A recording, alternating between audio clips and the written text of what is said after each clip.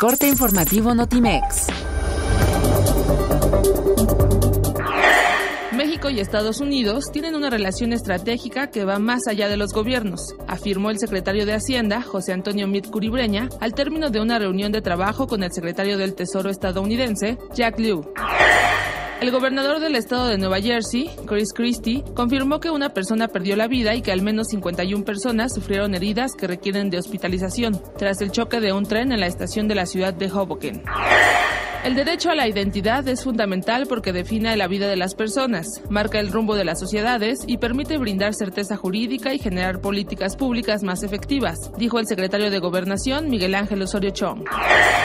El féretro del expresidente israelí y Premio Nobel de la Paz 1994, Shimon Peres, se encuentra expuesto en la explanada del Parlamento, donde miles de israelíes, los líderes del país y grandes personalidades le rinden homenaje.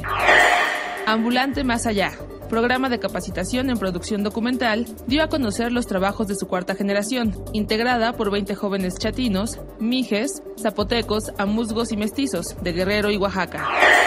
Ante los recientes acontecimientos contra los migrantes en todo el mundo, la flautista mexicana Aleli Pimienta organiza un concierto con músicos inmigrantes en Canadá para mostrar el talento de esta población y que la música clásica no ha muerto. El regreso de los hermanos Giovanni y Jonathan Dos Santos, además de Alan Pulido y otros cinco jugadores del equipo Guadalajara, destacaron en la convocatoria del técnico de la selección de México, el colombiano Juan Carlos Osorio. Notimex, comunicación global.